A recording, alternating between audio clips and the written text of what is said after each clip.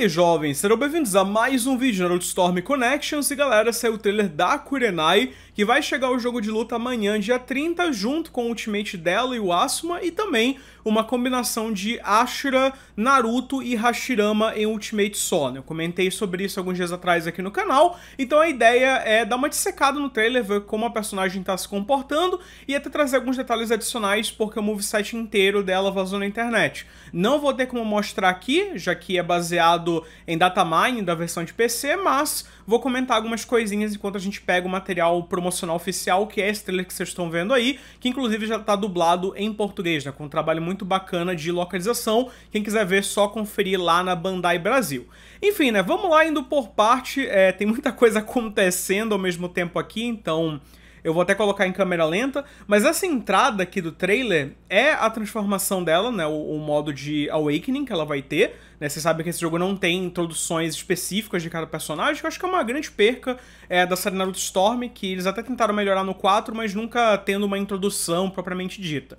Aqui é um pouco do combo dela, a gente vê aqui ela usando um pouco da variação neutra, mas ela acaba cancelando para aplicar o seu ninjutsu, né? Então ela tem esse ninjutsu onde ela consegue criar uma espécie de imagem remanescente dela que se direciona para cima do oponente. Detalhes legais disso aqui é que você consegue fazer até três no cenário e os três vão se aproximando, tendo um alcance razoável até, né? E essa explosão também pega um alcance legal. Bem aqui é o finalizador aéreo dela de combo, né? Então ela arremessa o Hidan pro ar e depois começa a fazer o combo aéreo propriamente dito. Detalhe legal desse combo é que ele, ela dá um chutão para baixo, né? Que é um pouco diferente de outros finalizadores. E pelo que foi apresentado nos gameplays, é possível depois continuar o combo dando dash, tá? Não sei como vai ser o comportamento no online, mas acredito que provavelmente o adversário deve conseguir defender é, depois que ela termina o combo, né? E tenta aplicar dash pra estender esse potencial de ataque. Mas foi uma solução bacana pra não ficar naquela coisa de só bater no personagem e ele cair pra longe ali, né? Como acontece com outros ataques.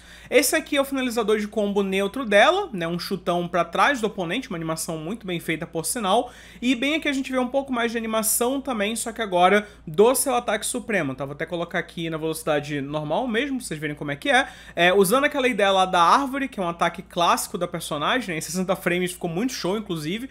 Então ela prende o Hidan no seu Genjutsu pra o finalizar logo em seguida, né? Um trabalho muito bacana é, de ambientação de cena, né? Ângulos de câmera e tudo. Realmente ficou muito bom isso aqui.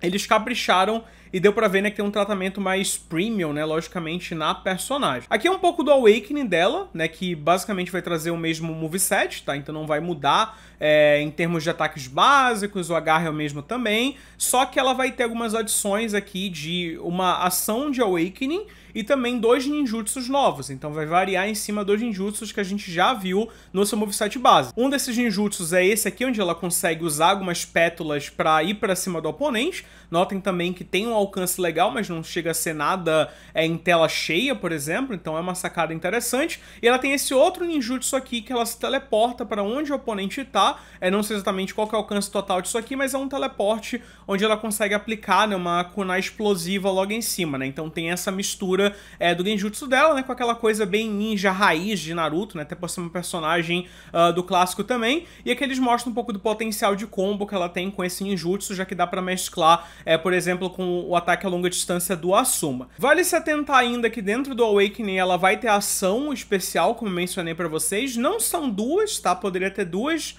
mas é que eles adicionaram, é bem interessante, já que ela vai conseguir usar o Genjutsu para deixar o oponente mais lento, né? E pelo que eu vi, deixa ele lento por um bom período de tempo, então é possível que crie uma boa vulnerabilidade dentro do combate. Eu quero ver como eles vão balancear isso aí, né? Infelizmente, não tá no trailer pra gente ver, mas os gameplays vazados já trouxeram essa informação de que uh, tem essa ação né, um pouco mais apelativa. Aqui é o especial combinado dos dois, que felizmente ele, ele ficou com uma qualidade bacana porque ele fugiu diz, ah, vamos usar literalmente a, a, mesma árvore que a gente viu antes, da mesma forma também. A árvore tá, tá aqui, mas, né, tem toda essa adição aí dos combos do Asuma e tal, então ele até acaba sendo é uma parte central desse ultimate finalizando o inimigo logo em seguida. Então ficou interessante justamente para evitar repetição, embora, né, não seja nada hiper, mega, ultra elaborado, sabe? Mas ficou bacana porque é, eles tentam integrar técnicas diferentes, ao invés de só vamos pegar a mesma técnica e fundir numa coisa só. Então ficou bem mais interessante,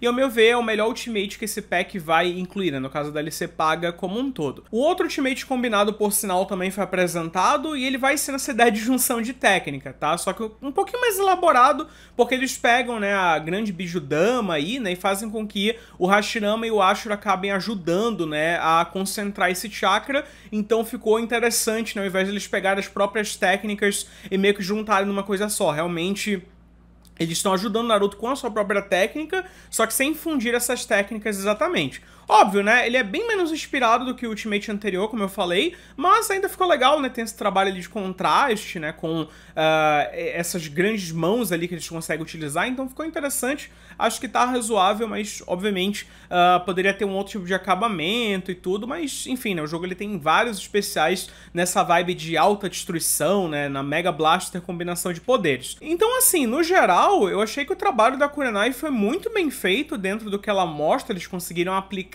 várias coisas que poderiam ser mais limitadas se caísse na mão de uma desenvolvedora que não tem uh, tanta experiência assim. Então notem que ela tá usando é, bases bem limitadas aqui, né, do que, que um personagem de Naruto pode ter, né? Tem alguns que tem muito mais coisa, né, muito mais variedade de ação, mas ainda assim o trabalho foi legal e é aquele ponto ali que eu sempre trago aqui no canal de que uh, se souberem extrair, dá pra fazer um personagem legal com praticamente tudo, né? Óbvio que ter mais material base te ajuda, mas basta ter criatividade para que é, um personagem que poderia ficar extremamente limitado se torne uma opção muito interessante. Então não tem o que reclamar aqui, o principal dela tá aqui e muito bem executado, né? Talvez até seja uma das melhores personagens desse passe, né? Também tem essa coisa que não tá associada, né, aos Otsukis ou poderes divinos, lá como o caso do Hagoromo, então tem esse grande ar fresco em termos de DLC para esse jogo. Eu vou conferir com vocês aqui no canal na sexta sexta-feira, então já marca aí às 8 da noite. Não vai ser no dia do lançamento, porque vai ter State of Play